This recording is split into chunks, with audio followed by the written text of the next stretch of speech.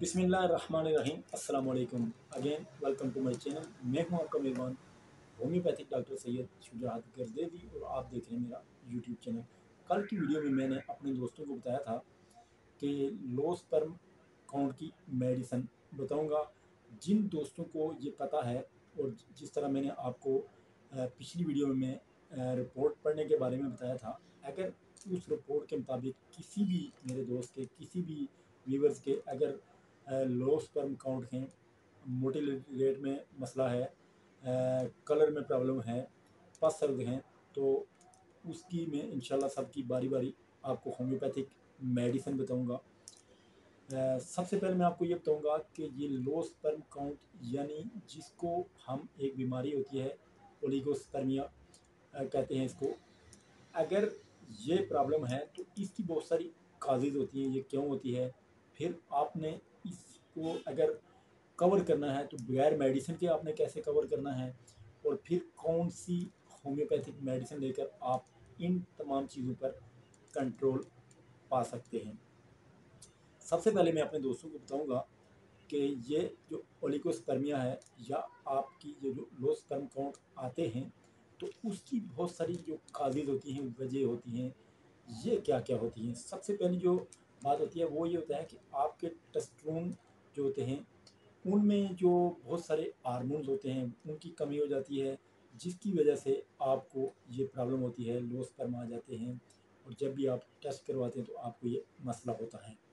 پھر اس کے بعد ایک اور چیز یہ ہوتی ہے کہ وہ لوگ جو بہت زیادہ ڈرگ یوز کرتے ہیں، الکوہل پیتے ہیں، شراب نوشی کرتے ہیں اسموکنگ بہت زیادہ کرتے ہیں، ان کو بھی اکثر یہ پرابلم رہتی ہے۔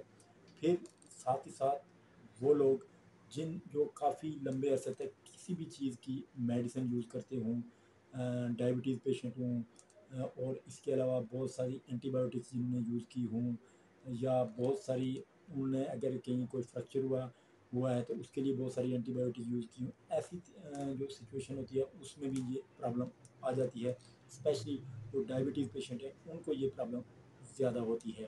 پھر اس کے ساتھ ساتھ اگلی سچویشن ہوتی ہے، جن لوگوں کو ممپس ہو جاتے ہیں، بہت زیادہ کافی عرصے تک بیمار رہتے ہیں، کان پیڑے وغیرہ رہتے ہیں، گلے میں ٹرانسفر رہتے ہیں اور اس طرح کی جو سچویشن ہوتی ہے، ان میں بھی یہ اکثر مسئلہ آ جاتا ہے۔ پروسٹیٹ میں پرابلم ہو پروسٹیٹ کی انفیکشن ہو اور یا ٹیسٹس میں اگر انفیکشن آ جائے، پھر بھی یہ پرابلم ہوتی ہے۔ اور اس کے ساتھ ساتھ اگر کسی کو ہرنیا بار بار ہو جاتا ہو تو پھر بھی یہ پرابلم آ جاتی ہے۔ جو لوگ بہت زیادہ موٹے تازے ہیں، موٹاپا بہت بڑھ گیا ہے، ان میں یہ مسئلہ آ جاتا ہے۔ اس سے بچنے کے لیے آپ بغیر میڈیسن کے بھی کافی حد تک ریکور کر سکتے ہیں۔ ڈائبٹیز پیشنٹ جو ہیں، وہ اپنی میڈیسن کے ساتھ ساتھ بہت زیادہ ورزش اور کوشش کریں کہ واک زیادہ کریں۔ ساتھ ہی ساتھ ہے، وہ لوگ جو بہت زیادہ موٹے تازے ہیں، کوشش کریں اپنا وزن زیادہ سے زیادہ کم کریں، اپنے وزن کو کم کرنے کی۔ کوشش کریں، ڈرگ جو لوگ لے رہے ہیں وہ چھوڑ دیں اسموکنگ چھوڑ دیں، پھر جو الکوہل یا شراب نوشی جو کرتے ہیں لوگ، وہ اس چیز کو چھوڑ دیں۔ اور ساتھ جو نارمل روٹین والی غذائیں ہیں، وہ کھائیں۔ بہت زیادہ فاسٹ فوڈ، کولڈ ڈرنکس اور اس طرح کی چیزیں بھی کم یوز کریں۔ گوشت بہت زیادہ یوز نہ کریں۔ اور وہ چیزیں ہیں جو آپ کی صحت کے لیے نیچرلی طور پر ٹھیک ہیں۔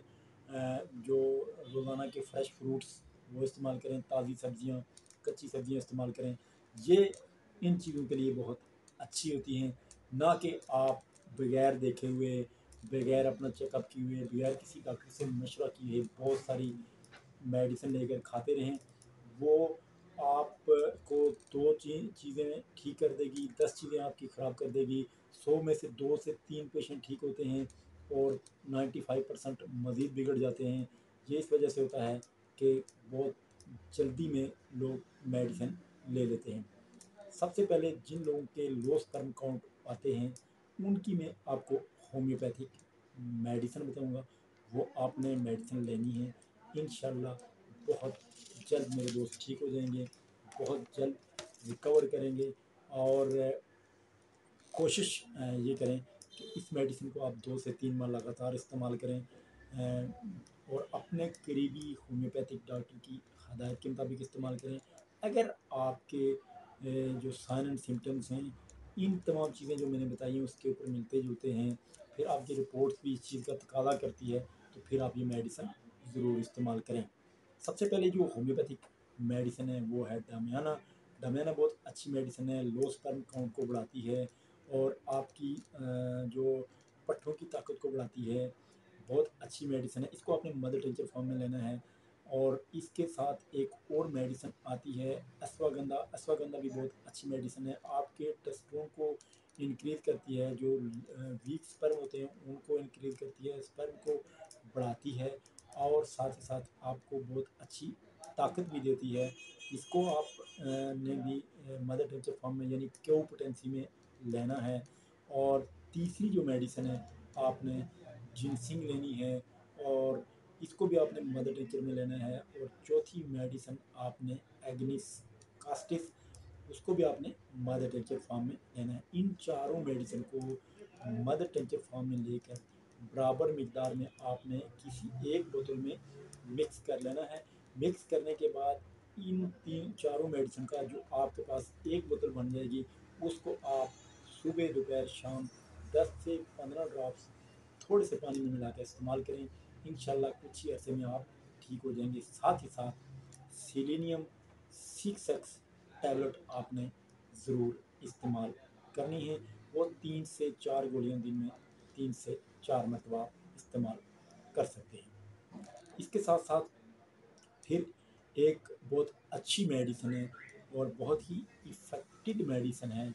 وہ ہے کیلیڈیم کیلیڈیم کو آپ نے تھرٹی پٹینسی میں لے کر صبح دوپہر شام تین سے پانچ ڈراپس روزانہ آپ نے استعمال کرنے ہیں اور کوشش کرنی ہے یہ آپ کھانے سے تھوڑا پہلے استعمال کریں، بہت جلد آپ ٹھیک ہو جائیں گے، اپنی صحت کا خود آپ نے خیال رکھنا ہے۔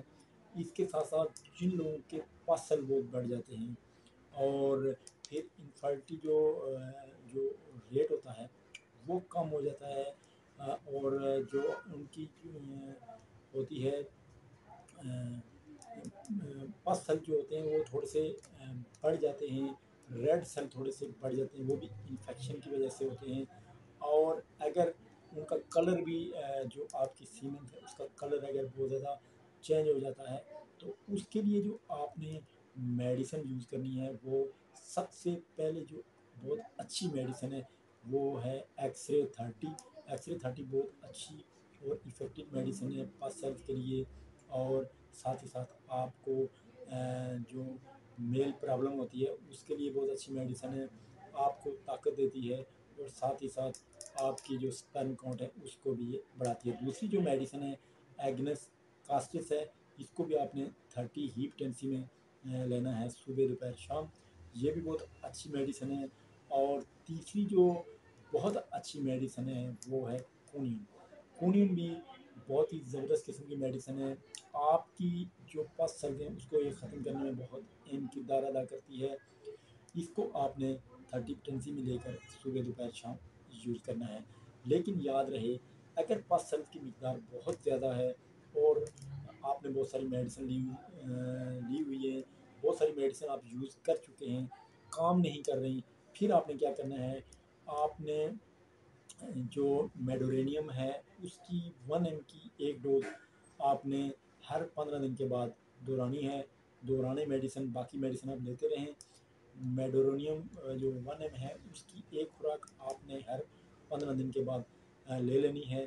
انشاءاللہ بہت جلد آپ ٹھیک ہو جائیں گے۔ بہت جلد آپ کو فرق پڑ جائے گا، لیکن یاد رہے کوئی بھی ہومیوپیتھک میڈیسن استعمال کرنے سے پہلے آپ نے اپنے قریبی ڈاکٹر سے، مستند ڈاکٹر سے مشورہ ضرور کرنا ہے تاکہ آپ کو کوئی پریشانی لاحق نہ ہو۔ بغیر کسی وجہ کے بہت زیادہ اپنی میڈیسن یوز نہیں کرنی ہے، بہت زیادہ اپنے میڈیسن نہیں کھانی ہے تاکہ آپ مزید کسی مسئلے کا شکار نہ ہوں۔ امید کرتا ہوں میری یہ ویڈیو تمام دوستوں کو بہت پسند آئی ہوگی۔ تمام دوست اس کو لائک بھی کریں چینل کو سبسکرائب ضرور کریں اور کوشش کریں ویڈیو اچھی لگے تو دوستوں میں شیئر بھی ضرور کیا کریں۔ بہت افیکٹڈ اور بہت ہی امپارٹنٹ قسم کی یہ ویڈیو ہے، بہت افیکٹو یہ میڈیسن ہے۔ اگر آپ کو یہ پرابلم ہے تو پھر آپ نے یہ میڈیسن یوز کرنی ہے اور انشاءاللہ آپ کو فرق بھی پڑے گا۔ کسی دوست کا کوئی کوشچن ہو تو وہ ضرور پوچھ سکتا ہے۔ انشاءاللہ نیکسٹ ویڈیو میں پھر ملاقات ہوگی۔ اللہ تعالیٰ ہم سب کا حامی و ناصر ہو۔ السلام علیکم ورحمۃ اللہ وبرکاتہ۔